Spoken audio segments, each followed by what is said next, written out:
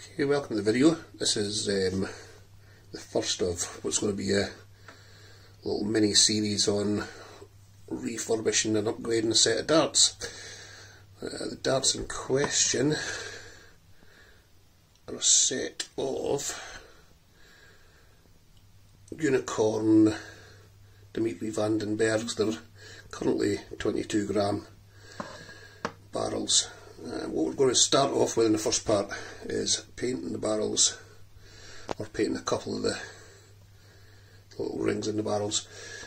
Uh, so what we need for this is something to clean them with. I use a Brillo pad, these are relatively new darts. Um, in fact, good as new, they're almost spotless. But we'll give them a quick clean anyway get any dust or other fibres out of the, the rings before we paint them. We then need um, some paint. We've got acrylic paints and nail varnish. Uh, the reason being that I want to compare the two of them. Uh, I've got a little model paintbrush, cost a couple of quid from a hobby craft shop. Very, very fine tip on it. Um, quite difficult to get the paint into the grooves without a lot of spillage.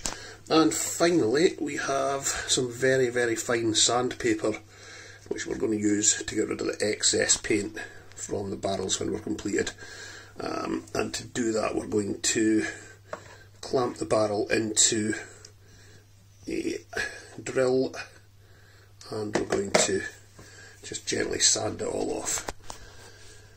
Uh, so I'm not going to insult your intelligence by going through the whole thing and, and washing the darts. Um, we can assume that we'll know how to wash darts. There are many, many videos. I've, I've got a Brillo pad there simply because these ones are fairly new and fairly clean. Um, but people may suggest anything from Coke to uh, vinegar I've heard used. Um, a toothbrush to get into the grooves.